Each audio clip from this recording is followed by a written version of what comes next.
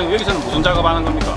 이 찬다랑 밭줍니다. 예? 찬다랑은 제일 큰 아기 찬다랑 400마리 들어왔던 거. 네.